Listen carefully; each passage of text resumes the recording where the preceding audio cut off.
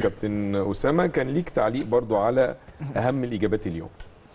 أهم الإيجابيات إن اللعيبة قدرت في خلال الفترة ال- ال- الصغيرة دي تلم. قدروا يلموا بعض. ده مهم جدا. آه مستر كولر برضو قال إن العامل النفسي إزاي النهارده؟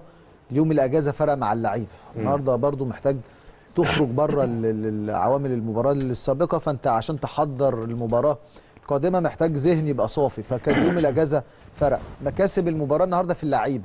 واحد زي مروان عطية النهارده مكسب كبير جدا في وسط الملعب.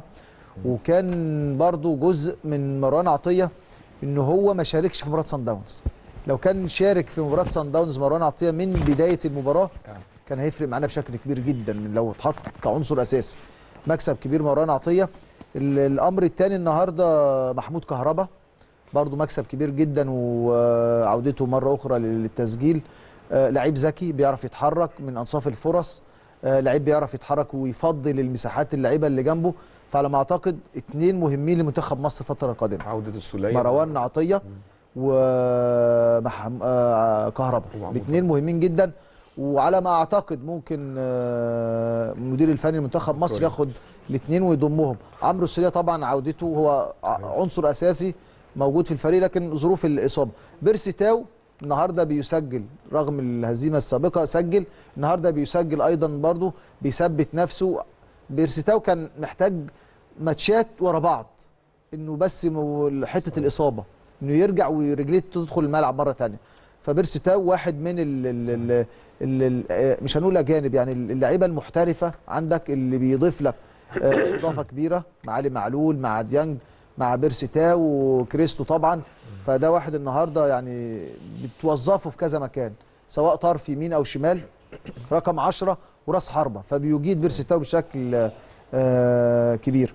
دول اللعيبة اللي لفتوا نظر النهارده بشكل قوي. الحاجة المهمة أتكلم في حاجة مهمة برضو. علي لطفي النهارده خد الشوط الثاني لسه هقول أنت خدتها من على لساني فكرة ما تقلقش.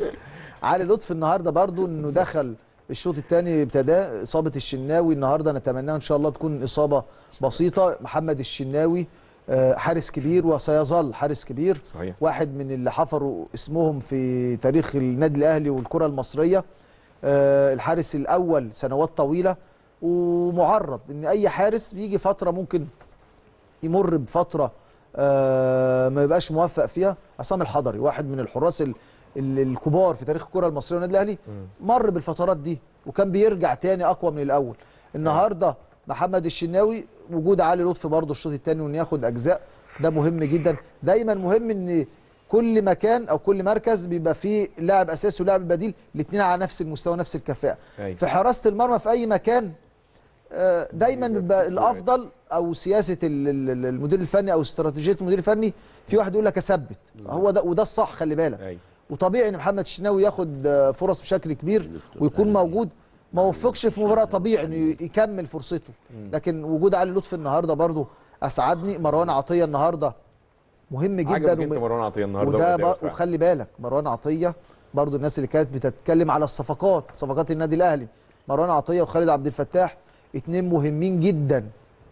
وقلتها هنا يوم مباراة الأهلي والزمالك لما كسبنا الزمالك ثلاثة قلت محمود كهربا مروان عطية خالد عبد الفتاح ثلاثة مهمين لمنتخب مصر قبل النادي الأهلي صحيح. فالنهاردة كمان الشكل الحلو النادي الأهلي في المباراة رغم إن البعض ممكن يقول القطن يعني فريق ضعيف هو آخر المجموعة لكن أنت اللي دايما يهمك شكلك أنت عملية الاستحواذ النهارده كورة كان ال- ال- المباراة تحس إنها سهلة أيوة. واللي مسهله تركيز لعيبة النادي الأهلي تقارب الخطوط الاستحواذ اللي كان شكله حلو النهارده ومن خلال الاستحواذ انت قدرت تخلق كم فرص كتير النهارده. فده برضو من ال- ال- الإيجابيات. آه يعني طبعا ما دخلش فيك أهداف قدرت. تسجل أربع أهداف. دي حاجة معنوية برضو بعد المباراة ال- السابقة. تقارب الخطوط دي كلها عوامل إن شاء الله يعني كانت مهمة. بكرة يا كابتن أيمن هننتظر ونشوف. لو النادي الأهلي كمل في البطولة يبقى حاجة كويسة. إن شاء الله.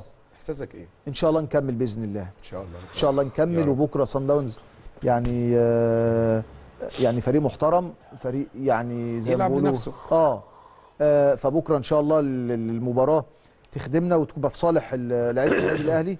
ولو القدر ما خدمناش لسه ما زال عندنا السنة دي إن شاء الله أربع بطولات. عندك دوري عندك كاس وصلت ال final عندك كاس آخر عندك بطولة سوبر أربع بطولات. وأنت حققت بطولة في أول السنة بطولة السوبر. السوبر. إن شاء الله عندك أربع بطولات تقدر تحصل عليهم. وتكتمل الخماسية إن شاء الله السنة دي للنادي الأهلي. ويبقى موسم كمان لا قدر الله لو خرج النادي الأهلي يبقى موسم كمان برغم الخروج الأفريقي يبقى موسم كبير جدا للنادي الأهلي في تحقيق ألقاب محلية كبيرة صحيح. ولو القدر إن شاء الله شايل لنا خير. النادي الأهلي إن شاء الله السنين اللي فاتت كنا بنطلع تاني وكان بيبقى ده مفتاح الفوز. لينا إن شاء الله لل final